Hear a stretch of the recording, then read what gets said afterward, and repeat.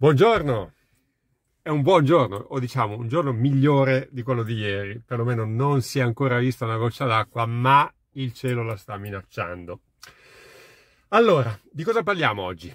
Mm, l'argomento è sempre vivissimo eh, ed è quello relativo alla espulsione, cioè scusate, alla squalifica di Consei Sao ai tanti errori arbitrali che ci sono stati quest'anno, sono tantissimi, eh, su sportmediaset.it, anzi sul profilo Instagram di Sportmediaset, li trovate elencati, ci sono tutti, ci sono tutti. Eh, l'errore sul passaggio all'indietro, ce ne sono stati due quest'anno, uno in Juve Napoli, un altro in, partita, in una partita del Cagliari. E I passaggi all'indietro erano interpretati invece non come passaggi e quindi non sanzionati con la punizione a due in area. Ma diciamo il nodo centrale della discussione per questo canale ovviamente è sempre questo discorso di Consei Sao. Allora,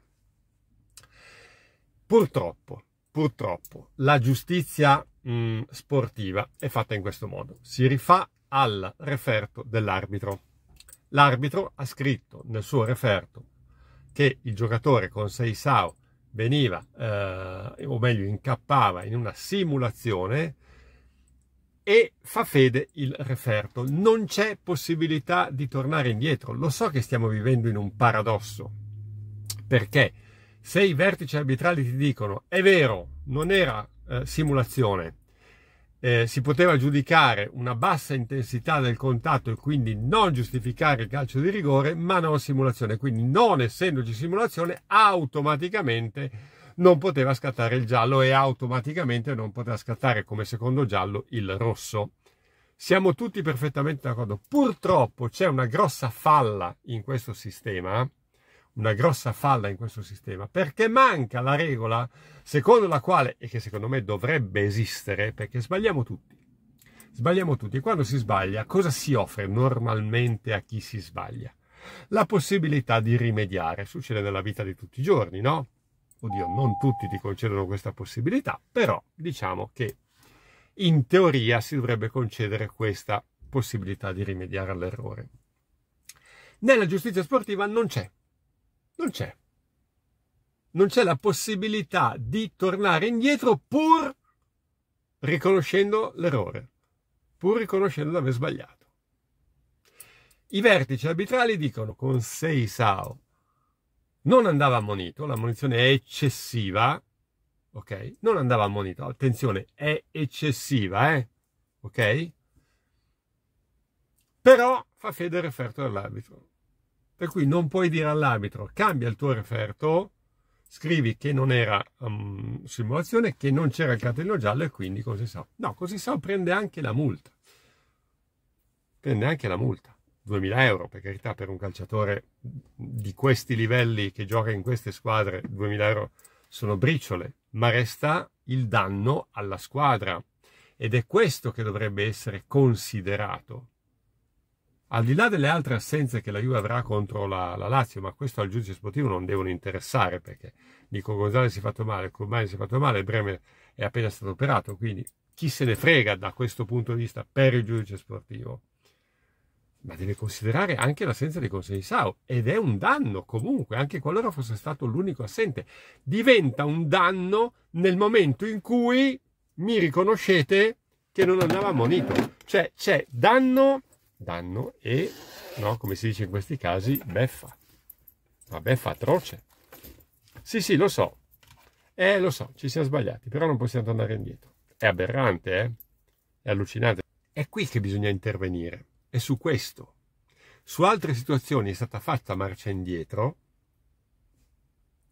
con interventi dall'alto, vedasi Gravina appunto nell'esempio dell'anno scorso, anche qui voglio puntualizzare, ragazzi, non era un'azione di gioco quella di Lukaku, ma io non è che eh, mi sento dire tu non vuoi difendere la Juve, io non devo difendere nessuno, io esprimo il mio punto di vista e cerco di essere obiettivo. Come vi sto dicendo che è assurdo che con Seisao debba saltare un turno, al tempo stesso vi sto dicendo che la situazione dell'anno scorso di, di Lukaku non era un'azione di gioco, era un'esultanza considerata provocazione. Dopo, grazie anche all'intervento di Gravina, è stata derubricata ad esultanza a gesto che lui normalmente compie. Poi possiamo argomentare finché volete, ma non era una situazione di gioco. La situazione di gioco era il rigore trasformato. L'esultanza non è una situazione di gioco in quel momento, diventa, poteva diventare, poteva essere interpretata come provocazione e poi però si è tornati indietro. Su lì si è tornati indietro. Allora, il regolamento in teoria non lo consentiva nemmeno lì. È intervenuto Gravina, ma su una questione, cercate di capirmi, su una questione di, non di gioco, extra gioco. Ok? Capite? È una, sotti- è una sottigliezza di regolamento, ma Gravina in teoria non può intervenire adesso per dire togliete la squalifica con 6 SAO, perché lì è una situazione di gioco, di gioco, interpretata come tale, e va bene, e, e non si può.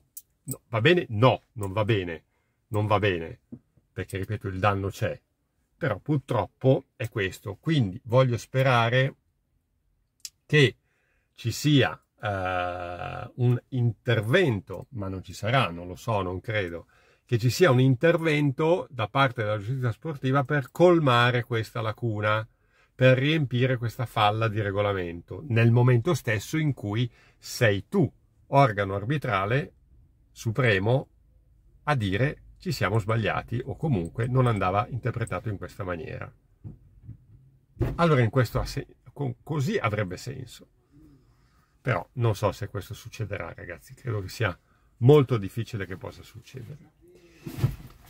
Termini pratici, perché è vero che c'è la partita della nazionale, ma bisogna già guardare oltre, bisogna già guardare a Juventus Lazio. Saranno fuori in quattro.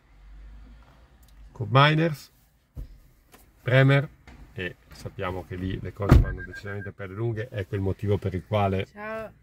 Ho ricevuto una telefonata poco fa perché ero imboscato in una via vicino alla scuola, ma avevo fatto il calcolo dei tempi, potevo starci dentro, ma evidentemente no. Ok?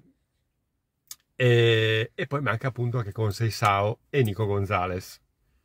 Per cui diciamo che per la prima volta in stagione, ed è, siamo solo all'inizio perché sono state giocate solo sette partite di campionato, possiamo parlare quasi di emergenza per quanto riguarda la formazione eh, con la Lazio. Emergenza soprattutto su quel lato lì, il lato destro, mancando questi due giocatori. La speranza, o meglio, barra eh, non certezza, ma comunque l'indiscrezione che ce la possa fare recuperare UEA che in, al momento è l'unico giocatore che può prendersi quella zona di campo, a meno che Tiago Motta non voglia inventarsi qualche cosa di particolare anche in questo caso, ma non credo che dalla next gen possano arrivare dei suggerimenti, dei suggerimenti importanti.